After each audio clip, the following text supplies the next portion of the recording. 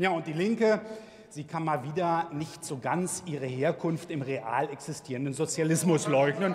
Naja, also privat ist übel, Staat ist toll und privat mit, privat mit Eigen äh, mit Gewinnerzielungsabsicht, das ist für Sie ganz übel. Sie sind einfach nicht bereit zu akzeptieren, dass in ganz vielen Fällen privat eben halt besser funktioniert als Staat.